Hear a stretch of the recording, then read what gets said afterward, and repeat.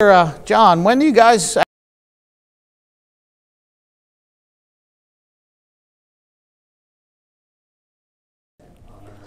You're uh, of May?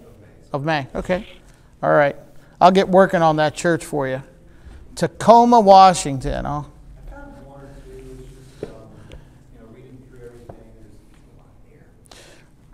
All right. Well, I'll get working. I'll make some calls, as they say in South Philly. I know a guy.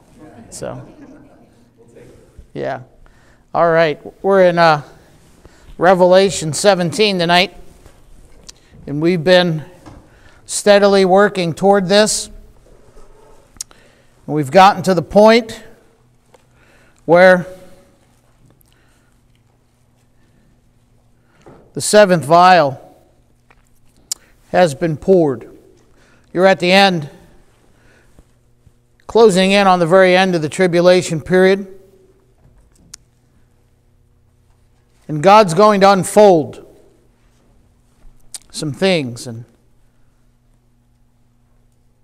remember, the Bible is not a. Uh, the Bible is not a, a, a, a tract.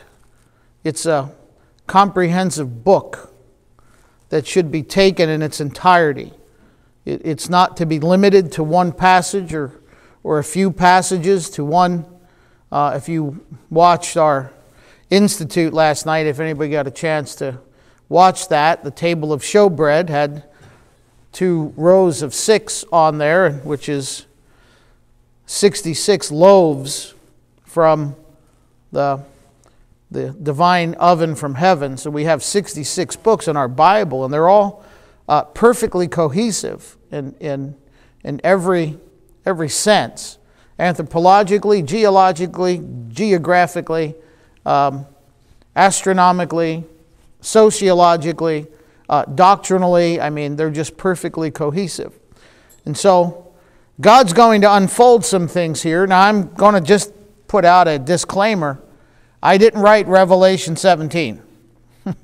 God did. And, uh, and he, he's pretty clear on what's going on in the world. As a matter of fact, my wife was talking to a friend, and uh, you know what a lot of a lot of preachers do is they say, you know, we don't, we're not going to be here. What do we have to study Revelation for? But the the the reality of it is that everything that you and I have seen thus far in the 16 chapters of Revelation, they affect us on a daily basis, whether you know it or not. And uh, they're going to, I believe, affect us more and more as time goes on. So we're in Revelation 17. I'll read verse 1 and then we'll pray. And there came one of the seven angels which had the seven vials and talked with me, saying unto me, Come hither. I will show unto thee the judgment of the great whore that sitteth upon many waters. God add a blessing to the reading, teaching, preaching, explaining, the applying of the Word of God to our hearts and lives tonight. We pray that you'd hedge our building with uh, the shed blood of the Lord Jesus Christ Pray that you would impart unto us a great, uh, a great uh, blessing of illumination that we might be able to see the Word of God as it unfolds before our very eyes, as uh, we see how you present it in the light of history, uh, in the light of uh, church history. Pray that you would just help us to receive that which you've prepared for us. We ask in Jesus' name, amen. And so, this angel takes John and says, Come hither. I want you to, I want you to see something. And, you know, it's not a pleasant word, but it's a, a Bible word. He says, I will show unto thee the judgment of the great whore that sitteth upon many waters. And then he says, With whom the kings of the earth have committed fornication. And the inhabitants of the earth have made drunk with the wine of her fornication. In 1825, Pope Leo XII struck a medal. One side had his image, and the other side had the uh, image of a woman with a cup. And on the side, with the woman's image, the inscription read, Sedit Super Universum, which in English, translated from the Latin, means the whole world is her seat. The her that he was referring to is this woman of Revelation 17. This woman who God has already called a harlot, who's riding this beast. On page 125, in The Rise and Fall of the Roman Catholic Church, Peterson quotes Pope Pius IX, Pope Pius IX's decree that, and I quote, a man is free to embrace and profess whatever religion he believes to be true is a false teaching. The Roman Catholic Church, brethren, does not believe, and I don't know what your, you guys you're visiting, I don't know what your affiliation is, but uh, regardless, I know what my affiliation is, and I served uh, the devil for two years as an altar boy as a young Roman Catholic, growing up in, in uh, my neighborhood, and I know what it's like to be involved in the Mass and have a hand in it. And I know what it's like to come to Christ and get saved and be born again. And for God to open my eyes. And one of the, one of the greatest tragedies we, we have today, in my personal opinion, is that there are people that would label, classify Revelation 17 as hate speech. And that's sad and it's tragic. The Bible is not hate speech, it's truth. And so, when we consider it from the perspective of God, you know, I've had people say to me over the years, you know, Christians have caused more wars and more death than any other religion on the face of the earth. And that's not true. That is not true. I know church history, and I, I, I know, and I'm not bragging, I know church history very well. And I can tell you that Bible believing, born again Christians have never caused a war. And we don't go out of our way to fight in wars. The, the wars that they're talking about and the bloodshed they're talking about are wars and bloodshed that has come from the very, the very seat of Satan through the Roman Catholic Church. The Roman Catholic Church has had her hand in every war since AD 300. World War I and World War II included. Say, well, I don't know that to be true. Well, then go do some reading and study history, and you'll find out that it's exactly the case. She's had her hand in everything.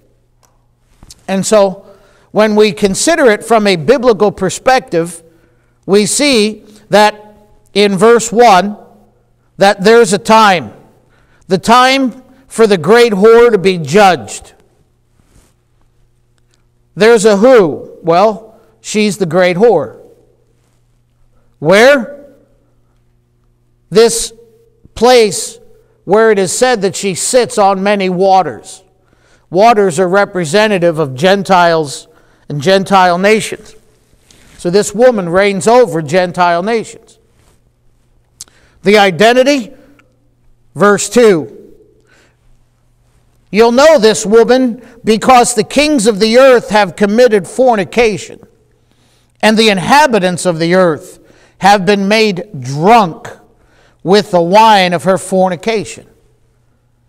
The drunkenness of her wine is every false doctrine that exists in the world you, you must realize that there's so much heresy being circulated and taught today, even on, well, not even on, poor choice of the beginning of a sentence, but you, you look at, um, and, I, and I just heard this today.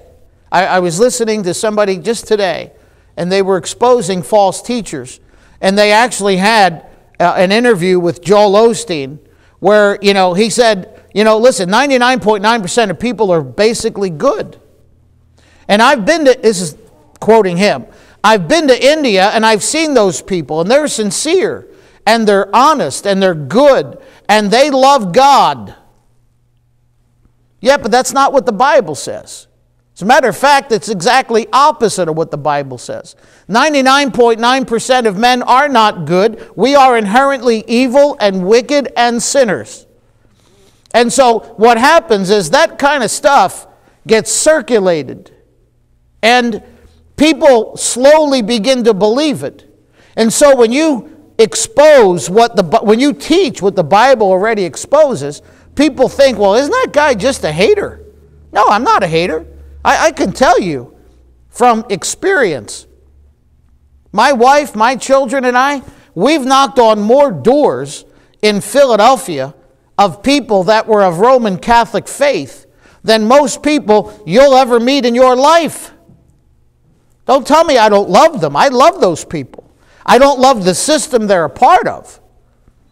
But I love the people because I identify with them. I was one. I understand it.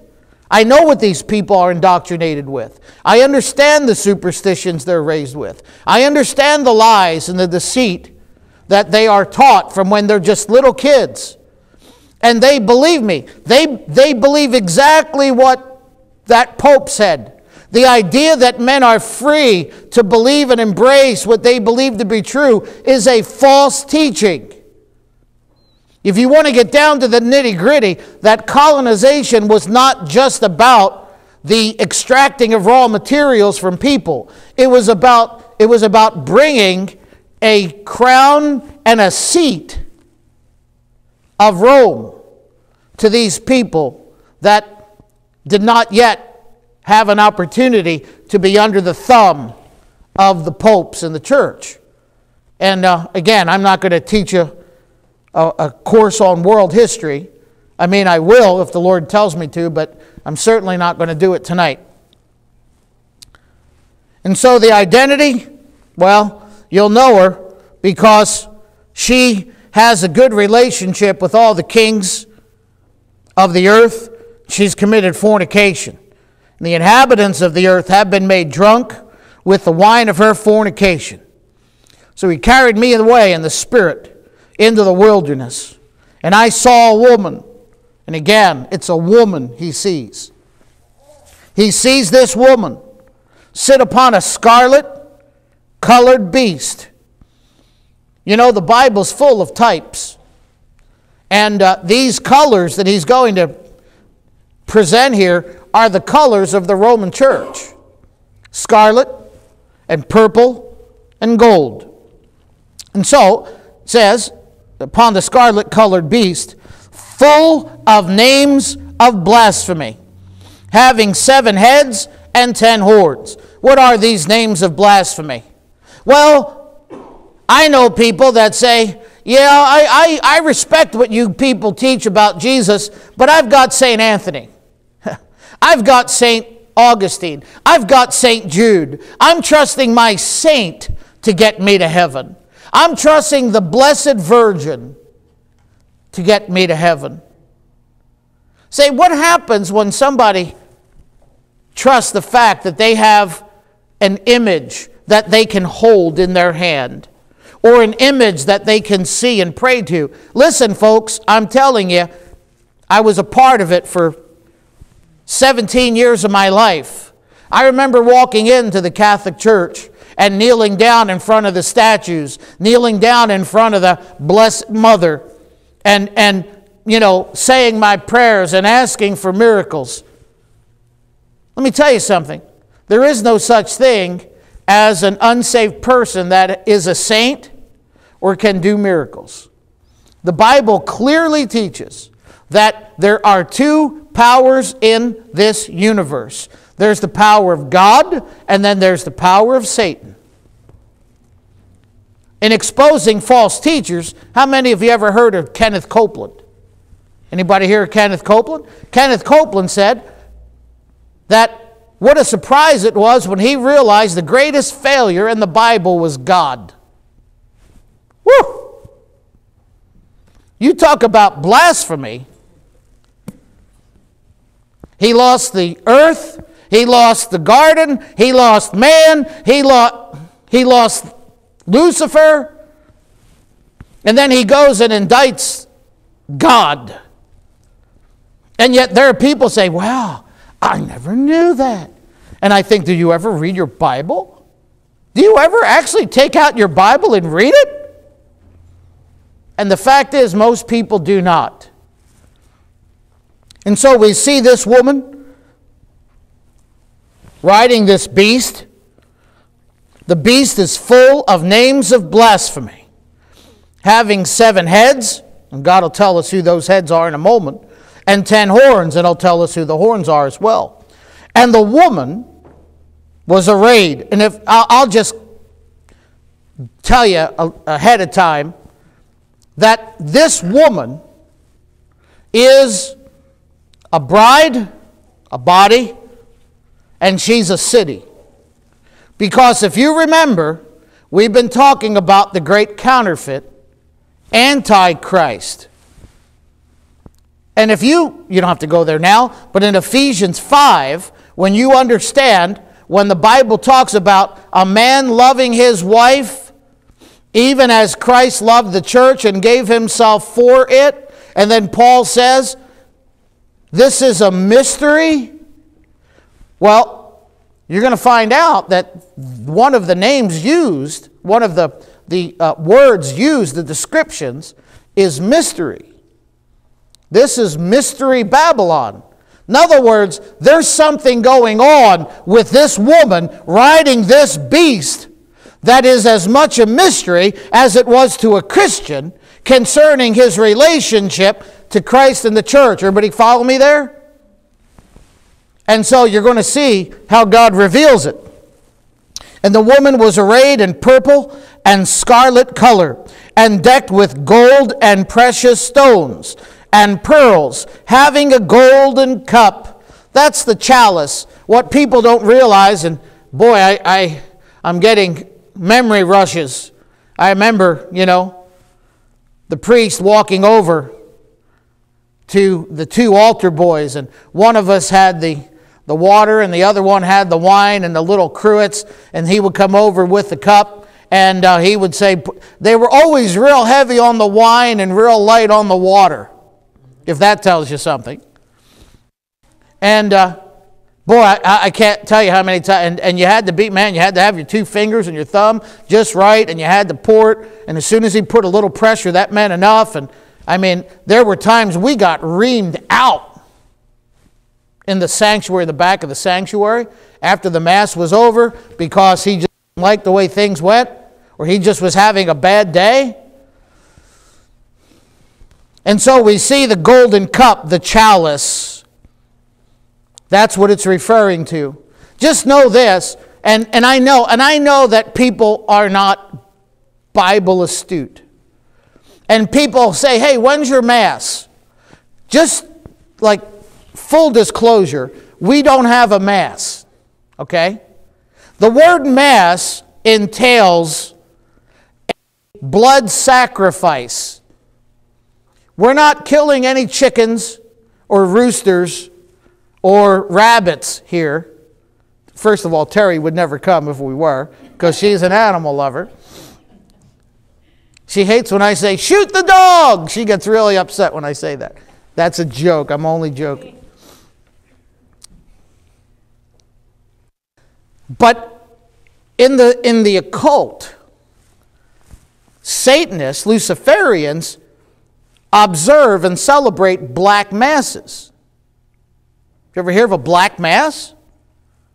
Well, that means that something is being slain blood is being spilt, whether it's animal or human. You say, that's crazy. I admit it's crazy, but it happens and it's true. You ever talk to a state trooper? You talk to people, you talk to people in the FBI, and they'll give you story after story of things they find, remains they find. And it is clear that some kind of occult practice or worship or Santeria. Anybody know what Santeria is? that stuff goes on more than you think, more than you know. And so, whenever you hear Mass, you must understand it implies a, a, the death of a corpse Say, what do you mean? Well, when the priest holds the wafer and he says what? Corpus Christi, body of Christ. Right? That's what he's saying. This is Christ's body. Do you believe it is the literal body of Christ? If so, respond by saying amen. It's not figurative, it's literal. And the blood that you drink when you drink of the chalice, that's not figurative, it's to be accepted as literal. This is the literal blood of Jesus Christ. That is why they are able to call it a mass, because they believe that there's a literal slaying of a body every time a mass is celebrated. And it's uh, quite startling, quite eye opening when you consider what the, the Roman church actually teaches. And I could tell I'm not going to get too far in this study tonight, but um, so we see the golden cup. There's no mistaking who this is. The golden cup is the chalice. And upon her forehead was a name written. There it is Mystery Babylon, the Great, the mother of harlots and abominations of the earth. And so this, this woman is the mother of harlots, and she's got some whorish children. Now I'm really going to some friends. My son smirks like there he goes again. If Rome is the mother of harlots, then get the Lutheran Church, the Methodist Church, the Presbyterian Church, the Episcopalian Church. Guess what they are? They're the children of harlots. That's why in the day in we live, they're all going back and to the roost from where they came. Now, I have Presbyterians that say you can't talk like that. Listen, I just, I just told you I was an idolater serving Satan on in a mass for two years. If I can come clean with what I am and what I was involved uh, in before I met Christ, why can't you? Why can't you just accept it? You were bamboozled, you were wrong, you got truth, you got saved, if you are in fact saved, and he is the way, the truth, and the life, and everything else is a lie. What's so hard about that? I don't get it. Than a person's pride or family legacy. And so it says mystery. There's a mystery here. The mystery is that people have not recognized her for who and what she is. Thank God he reveals it. Mystery Babylon the Great, the mother of harlots and abominations of the earth. This is not just something that's happening in the Vatican, brethren. These are things that are happening all around the globe. Her influence knows no boundaries. And I saw the woman. Well, now he really hits the nail on the head. And I saw the woman drunken with the blood of the saints. I don't know. You want to put a number on it? J.M. Carroll, his conservative number is 50 million. Bible believing Christians have been martyred under the, under the iron fist of Rome. I personally think it's considerably more than 100 million. That's my personal opinion. From what I understand and know and have read about history, I think it's well over 100 million people have died under the iron hand of the iron fist of Rome when you go and consider what history teaches us about the Inquisition, and just so you know, and there's a reason why I mention Inquisition. What happened in the Inquisition? They, they made a particular device. Anybody know what it was? The rack, and what was the other thing? The guillotine. what happened? when you put your head in a guillotine. Shoot. Does not the Bible say that there are those that will be beheaded in the tribulation period? I got news for you. The guillotine's going to make a comeback. And if you can't get them to the guillotine, they'll just take your head off with a sword. Now you remember those videos that we saw when they would capture people from the West and they would kneel them down and they would get a, a, a sword and chop their heads off? That practice is alive and well today. Maybe not a team, but with the sword for sure.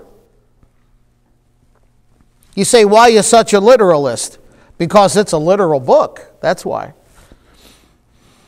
And the woman's drunken with the blood of the saints. This woman could care less about a human soul. She cares less about it. It's all about her power, her wealth, her control, and her influence. Now, if I were to take a left turn, and I'm not, if I were going to take a left turn, I would tell you how much involvement the Roman Church, through the Jesuit priesthood and through uh, Roman Catholic influenced universities, have influenced the whole of academia. That's why your Bible, your King James Bible, is under such attack, even in Bible colleges. You can go to a Christian university and you tell them you're a Bible, King James using Christian, and they'll go, oh, okay. Like there's something wrong with you, like you, you have some kind of a disease or something. Like you actually believe that book? And again, I'm not going to turn left here. I'll stick with the, stick with the script. And she's drunk with the blood of the saints and with the blood of the martyrs of Jesus. When, and this is not, I want you to know, this is not limiting this to the tribulation period, although it will increase exponentially in the tribulation period. It's not limited to the tribulation period.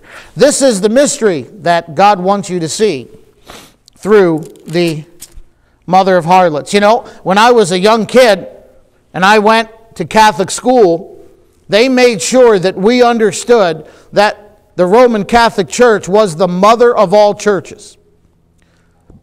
I remember sitting in a Catholic uh, religion class and somebody saying, you know, my grandmom goes to a different church. Or my, and, and if they were a Protestant church, the nun or whoever was teaching the class would say, well, you know, but our church is the mother of all churches. Why do you think God uses that word, the mother of harlots, there? Because they claim to be the mother of all churches. It says, the angel said unto me, Wherefore didst thou marvel? Why are you so surprised? What's so surprising about this? Have you ever read the newspaper? Have you ever picked up a history book? Have you ever picked up a Bible and read it? I will tell thee the mystery of the woman and of the beast that carrieth her, which hath the seven heads and ten horns. In my Bible, just so you know, I have a heading that says the Roman Empire revived. When I was a young Christian growing up, and I learned Bible prophecy in the book of Revelation, I was told that of the of the, the Colossus in Daniel 2, that the legs and toes represented the revived Roman Empire. That is not true. We're not talking about a revived Roman Empire here. We're talking about a satanically influenced, satanically led government with Antichrist as its head. That's what we're talking about. We're not talking about a revived Roman Empire. That is not biblically true. The beast that thou sawest was. So, whoever this beast is, it was. That's number one. And then look at it. Is not. Is not. And shall ascend. Out of where? Ah, the bottomless pit. We already covered this in Revelation 13. I'm not going to go back and reteach it. But was so they lived this person lived on the earth at one time right now they are not and in the tribulation period they're going to ascend out of the bottomless pit. Well, I'm not going to reteach it, but if you remember, we said it is none other than Judas Iscariot. What is he? He is a Hamitic, referring to dark skin, Semite, meaning Jew, having European descent. That's who this person's going to be. And he ascends the bottomless pit. And if you don't know where we got that, and you guys first time here, why would you know that unless you studied this? This is taken from the leopard of Revelation 13. That leopard is tan with a white belly and black spots. So this person has the, the bloodline of Shem, Ham, and Japheth as, the, as they've come off the ark. Says, was not, shall, shall ascend, future, out of the bottomless pit and go into perdition. Now, brethren, I got to tell you, there's only two people in your Bible that are known by the word perdition. One is Judas, and the other is Antichrist. You say, is that a biblical clue that they are one and the same person? I believe it is. Pastor, I don't agree with you. Don't agree. I don't care. You don't have to agree, but I think I, we've already shown enough Bible to uh, weigh that point down. And they that dwell on the earth shall wonder, whose names were not written in the book of life from the foundation of the world, when they behold the beast that was and is not and yet is. Whoa. Says, is not and yet is. So whoever this being that shall ascend right now is on the earth. Through what? Well, through the presence and power of Satan. Remember, we said that the king of the bottomless pit is the king of a place called Abaddon. He has both human and angelic blood. And here is the mind which hath wisdom. The seven heads are seven mountains on which the Roman sitteth. You go and check a city. There's only one city in all the world that is known as the city on seven hills or mountains, and that is the Vatican in Rome. So, the seven heads are seven mountains on which the woman sitteth. And there are seven kings. Here's where you have to actually take your time and read the text. Five are fallen, and one is, and the other is not yet come. Now, let me explain something. In Revelation 13, we talked about um, we talked about Babel or Babylon. Then we talked about Egypt. Then we talked about Assyria.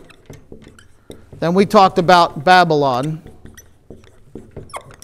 Uh, then we talked about um, the Persian Empire, right? Then we talked about the Grecian Empire. And then we talked about the Roman Empire. One, two, three, four, five, six, seven. He says there are five kings. Now, watch this. Everybody see this? This and this are one and the same kingdom. John is giving this under the rule of Domitian in Rome. So it's clearly not Rome that he's talking about when it talks about one is. When you look at these, this is what it boils down to Babylon, Egypt, Assyria, Greece. Uh, I'm sorry, I missed Persia in there. Persia, Now, watch this. They're the five that he's talking about. They're the five. If you remember, in the book of Daniel, out of the goat came who? Anybody remember that?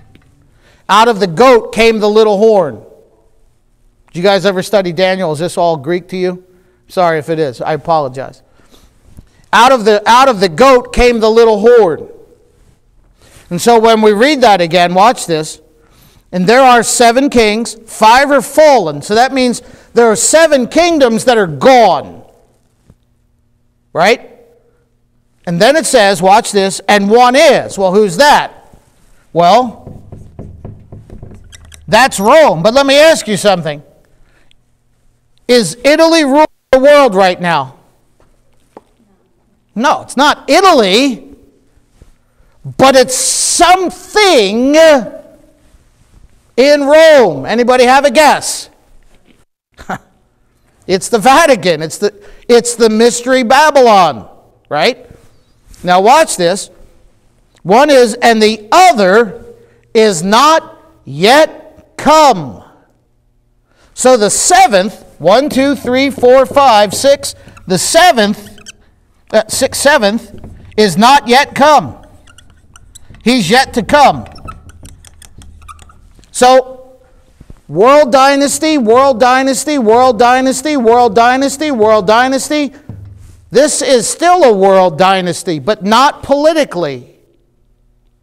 It's religious, although her religion influences and affects all the governments of the world. The, Vatican's, the Vatican is directly involved in what goes on in the UN. And I'm not going to go turn left on that either, but you need to start reading what I tell you to read. And learning and researching. And so this one, the seventh, is yet to come. Whoever this person is, they are going to dominate the world.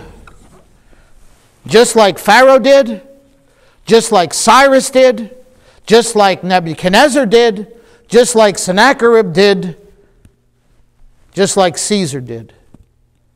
This is going to be a dominant person to be reckoned with in period. And it says, and the other is not yet come, and when he cometh, now what's it say? He.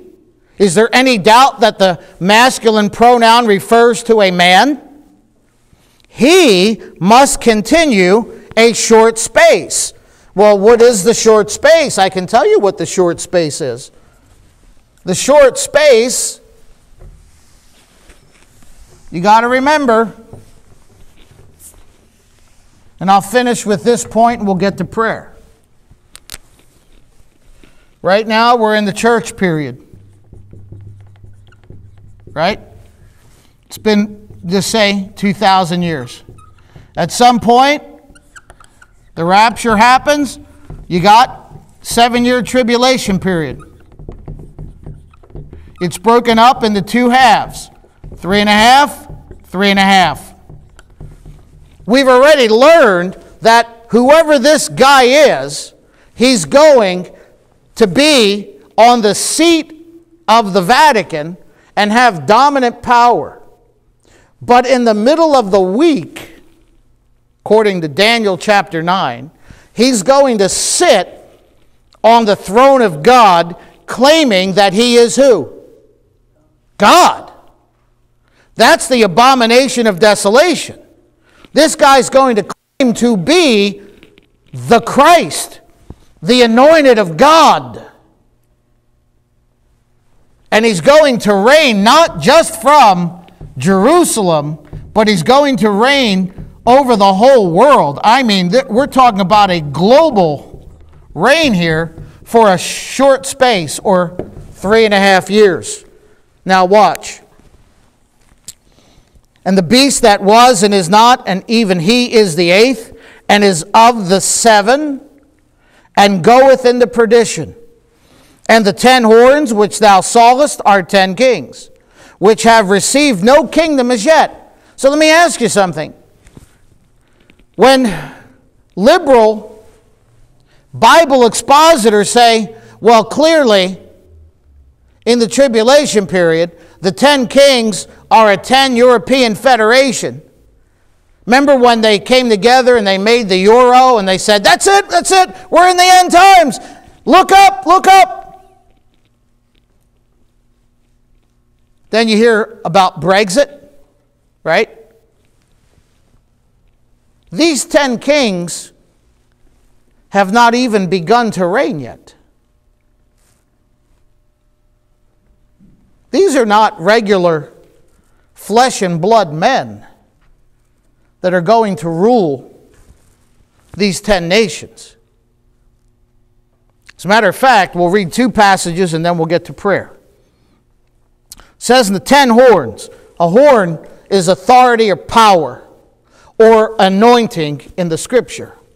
And the ten horns which thou sawest are ten kings, which have received no kingdom as yet, but receive power as kings one hour with the beast.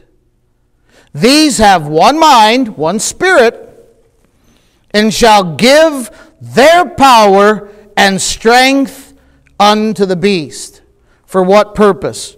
Look at verse 14. These shall make war with the Lamb, and the Lamb shall overcome them. Now, I'm going to go back to Daniel chapter 2 when it talks about the ten toes of the Colossus, and it says this And the fourth kingdom shall be strong as iron. Everybody says, Rome, Rome, Rome. Not so fast. For as much as iron breaketh in pieces and subdueth all things, and as iron that breaketh all these, shall it break in pieces and bruise. And whereas thou sawest the feet and toes, part of potter's clay, and part of iron, the kingdom shall be divided, but there shall be in it of the strength of the iron, Rome, for as much as thou sawest the iron mixed with miry clay. Well, miry clay in the Bible stands for flesh, humanity. And as the toes of the feet were part of iron and part of the clay, so the kingdom shall be partly strong and partly broken. And whereas thou sawest iron mixed with miry clay, they shall mingle themselves with the seed of men. They shall mingle themselves with the seed of men, but they shall not cleave one to another, even as iron is not mixed with clay. So, whoever these ten kings that are going to rise the power in the second half of the tribulation, they're going to be neither iron or clay. They're going to be a mix, they're going to be a hybrid. And just like one does not cleave to the other, they're going to have a dual genetic pool, if that makes sense. Say, Pastor, who do you think it is? Well, I've already touched on this. Is this is one of the most difficult classes to sit in when you're first visit a church. But we've already discussed that there are stars that John sees fall from heaven to earth. And we said those stars are angelic creatures. And just like there are there is unity and a hierarchical system in the heavenlies, and just like God has his archangels like Gabriel and Michael and so on, I personally believe that these 10 kings will be angels that somehow are given a form of human flesh. And I my default position is look to Hollywood. Remember the movie Terminator with Arnold Schwarzenegger? You remember what happened in that movie? What happened? The artificial intelligence became so smart, they were able to clone themselves in flesh, and it was undistinguishable. Whoever these ten kings are, the world is going to see them as mere men, but they're going to be something much greater than that. They're going to actually be demons, fallen angels that are taking on some kind of a human body, some kind of fleshly manifestation. And they're going to rule and reign with him for one hour, and they're going to give all of their power, all of their influence to him. Antichrist. This is not a good time to not believe the Bible when that happens. This is going to be difficult living on the earth. Say, Pastor, you think we're moving toward that? Yeah, absolutely. You go and you go and read some of the things that Elon Musk is warning the world about artificial intelligence. And let me tell you, there are some people that are very, very intelligent and they understand the dangers of AI in this world. And they're coming out and telling you, you better be careful. There are, there are some wicked people, wicked corporations that are spending a whole lot of time and money trying to produce something the world has never seen. And so when you talk about the liberal, progressive mind, do you know what? There are, there are people so delusional of history that they believe that all the world needs is some perfect man to come and cure all the ills of the earth. Some Christians even believe that. Listen, I, am a, I, I, a fan of, of Mr. Trump, but I never for one second was delusional thinking he was the answer to America's problems. You need to realize something. There is no man other than the man Christ Jesus that is going to rectify this thing. But the world is being slowly and slowly led to the idea that some Superman is going to one day come and save the world of all of its problems. And that's where all of the literature, and that's where all of the entertainment, and that's where everything is moving toward and that's why these 10 toes, if you will, of Daniel are going to come on the scene. And they are going to have tremendous influence and power and dominion. And they're going to bring all of that right back to Antichrist.